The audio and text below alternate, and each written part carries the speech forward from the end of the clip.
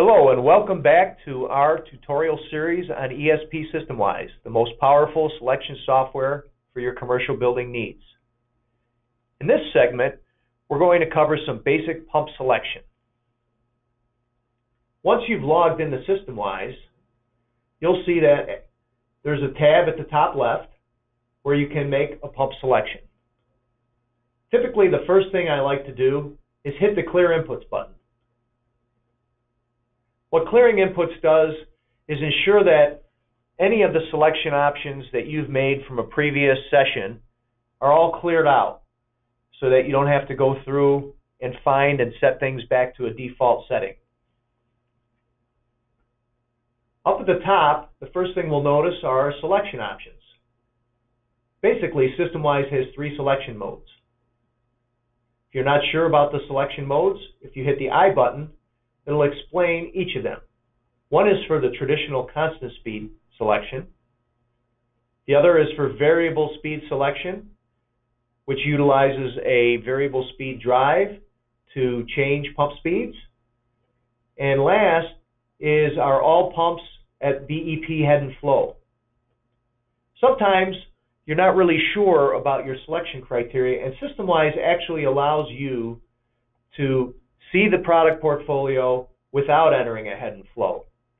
If, for example, I accidentally hit get results, I've selected a product and I haven't entered zero head and flow, Systemwize automatically reminds me that I can go to the selection mode, all pumps in the product family at BEP head and flow, and see the entire portfolio. Let's just try that briefly. So if I want to understand the E1510 portfolio, I can hit Get Results, and I will see the entire offering. In the design grid, I can sort by efficiency, I can sort by head, I can sort by flow, pump size, any of those options, motor horsepower that I want to use to review the offering. For example, if I wanted to see the highest flow pumps, you would see that the 8GB is the largest flow pump at 3500 GPM. So let's go back and actually make a selection for a variable speed pump. So I'm selecting variable speed. My next selection option is the type of controller. When making a variable speed selection, you have the option of either choosing sensored control or sensorless control. This basically determines if the pump will operate with remote sensors in an area control scheme or without sensors using motor speed and power in a curve control scheme. Again, the information button has more information on these control strategies.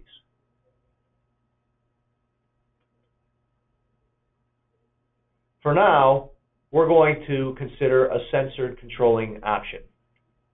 Next is the frequency the frequency will default to your last selection, but remember, if you do make selections in both 50 hertz and 60 hertz and toggle between these, that you check that frequency out at the start of your selection. The next portion in, in our decision on our selection is looking at the product families. We have a handy I button that helps to make some quick reference suggestions for Bell & Gossett's recommended pump sizes, depending upon your capacity and head.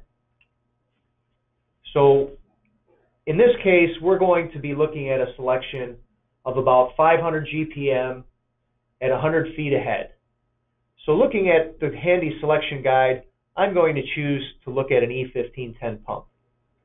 Certainly, there are other products that can handle that range, but for the purposes of this exercise, I'm going to look at the E1510. You'll notice that there's an Express Select toggle button off to the right side. You can choose to look at your selections either by whole families of pumps or using Express Select, just look at individual products. So in this case, I'm going to just look at one product family. for this selection.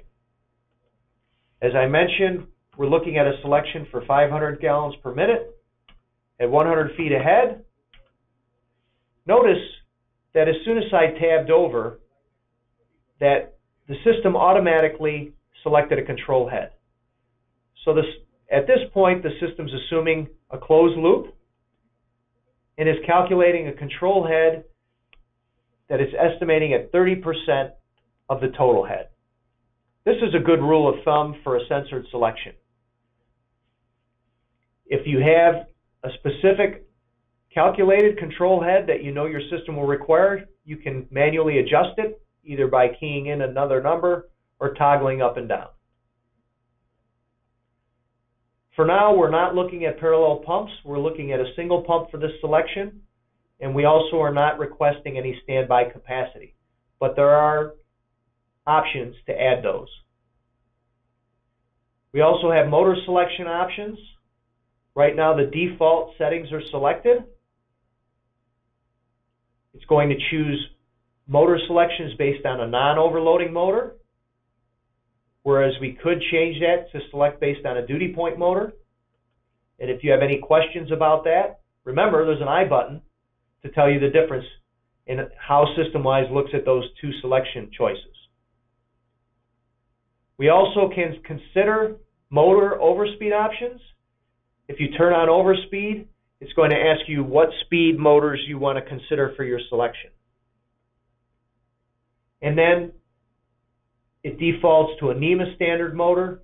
Again, you could request IEC motors if you're doing a selection for possible overseas installation.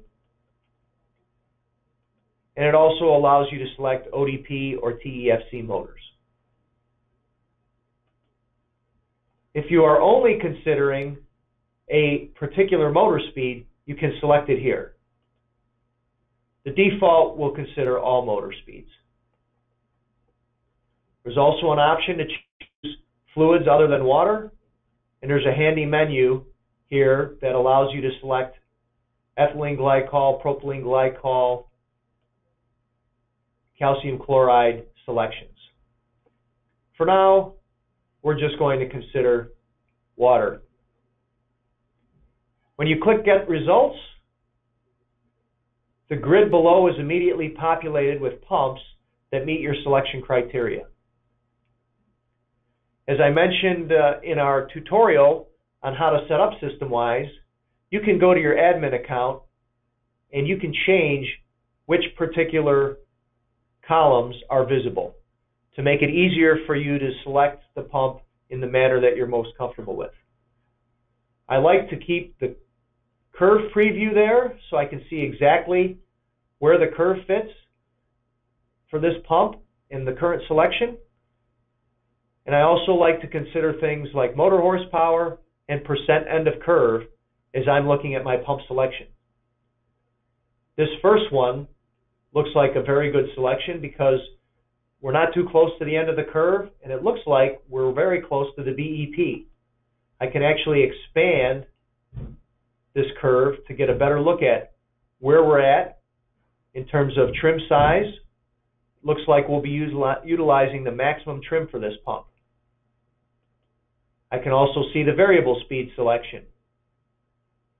The nice thing about Systemwize is that it automatically shows you how the pump will adjust speed in a partial load environment. We display 100% loading, 75, 50, and 25% in the system curve that is considering the control head you entered. At this point, I can either add that pump to a schedule by clicking this button and selecting from the schedules that I've already loaded or creating a new schedule. I can also add tags for that pump.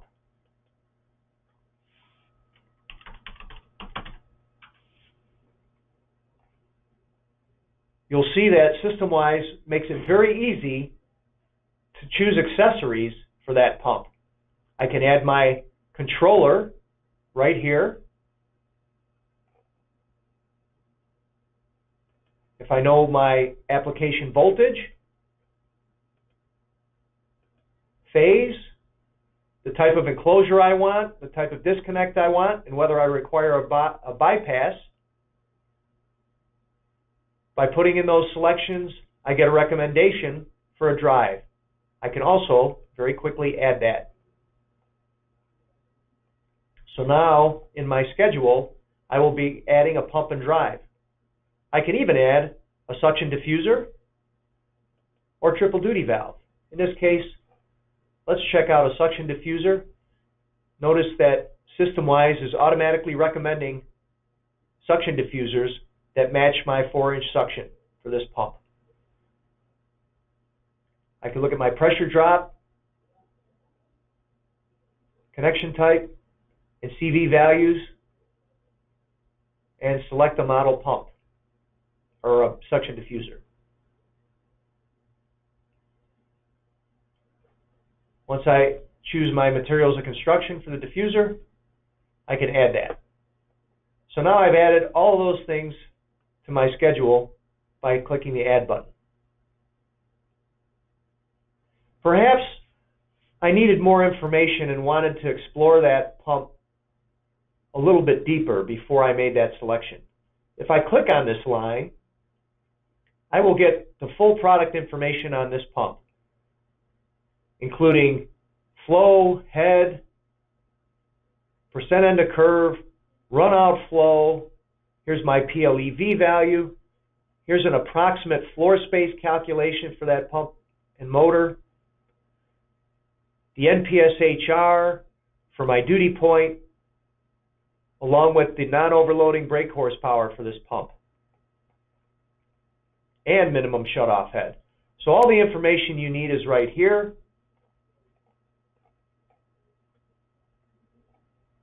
Again, we'll see the same curves that I demonstrated before, including the constant speed curve. Notice the note at the bottom of the constant speed curve. Systemwize, when choosing variable speed, does impeller sizing per the 2016 ASHRAE Handbook, Chapter 44.8 Guidelines. This ensures that if the non-overloading horsepower motor for this pump, in this case 20 is 20 horsepower, Systemwize will select the maximum size impeller for that 20 horsepower application to ensure that you have the optimum efficiency design. If you have questions about that, please visit the ASHRAE Handbook for more information about selecting impellers with maximum impeller. You also have the ability, if at this point you wanted to trim the impeller, you can actually adjust the impeller diameter down. You can see here, by making that adjustment, now the impeller will no longer operate at reduced speed, but at more at full speed. Notice up top there is an operating point tied to the current speed and impeller trim, along with the maximum duty point for your trim. In this case, because I lowered the diameter of the impeller, I've lost a little bit of the maximum duty. Again, another reason for selecting the maximum impeller.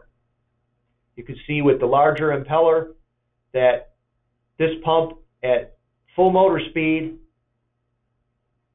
has a capacity of 508 GPM and 102 feet. So I have a little extra capacity. In some cases, when you select a pump, the difference between your trim and the operating point will allow for even more additional capacity that you can utilize in this project if the if there's a change during commissioning or if later additional zones are added to the project. Again, you can add to the schedule right from here. You can also download any of the documents associated with this product, including dimensional drawings. There are some more tabs here. There's an overview tab with all the information about the 1510 product and even an operating cost tab. During the operating cost tab, you can adjust the percentage of time that you're operating during the day at the partial loads. You can also update your cost per kilowatt hour to match your, your part of the country. If you actually know the kilowatt hour cost for where this installation is, you can also update it manually. You can also update the number of days per year of operation. All of these pieces of information combined with the power required at all of those duty points of partial load help to generate an annual operating cost for this product. Notice that the software even tells you whether this pump is ASHRAE 90.1 compliant. 30% wattage at 50% flow. You will also see a comparison of costs for this product operated with the fixed DP sensor, what the additional cost would be if we increased the, the static head for sensorless operation. If you have questions about sensorless operation, Bell and Gossett has a number of publications discussing the difference between sensored and sensorless operation, just as a note. And it also has the opportunity for additional savings if you're able to operate with fixed DP reset on a building automation system. The other handy piece of information is a quick overview of dimensions for this product. All of this information, of course, is also included if you download a Bell & Gossett submittal.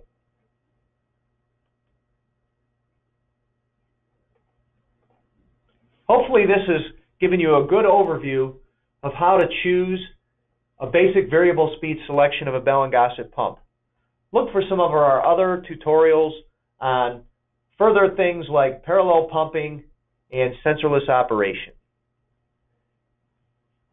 Thanks for listening to this tutorial, and we hope that you can continue to leverage the power of ESP Systemwize.